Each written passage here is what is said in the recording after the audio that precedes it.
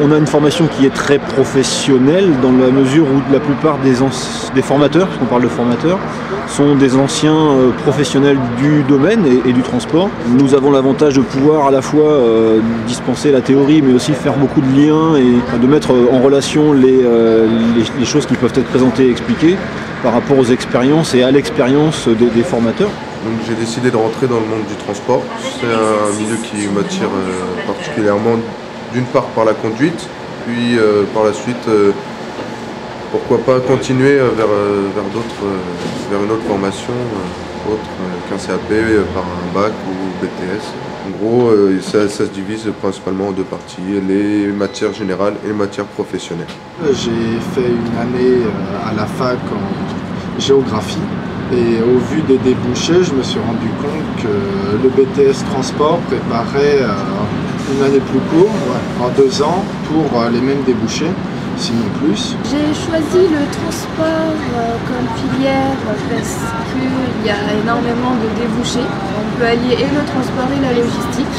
Euh, j'ai choisi le transport parce que c'est une filière où il y a 99% de chances d'avoir un travail très rapidement à la sortie et que c'était cette sécurité d'emploi euh, qui m'intéressait.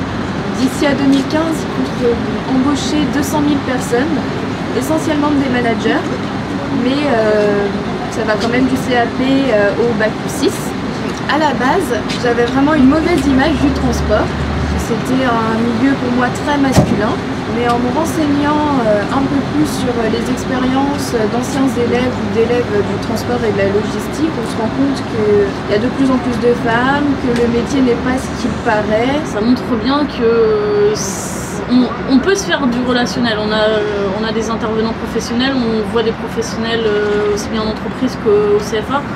Et en même temps, c'est un métier qui demande à être extrêmement rigoureux parce que euh, c'est euh, de la marchandise qui, n'arrive pas, c'est des coûts, c'est euh, des personnes immobilisées sur la route, donc c'est plusieurs aspects. La, moindre, erreur, c'est pas trois fois rien quoi. Aujourd'hui, nous avons des postes à pourvoir dans notre entreprise et dans notre profession en général. Poste de conducteur plus particulièrement.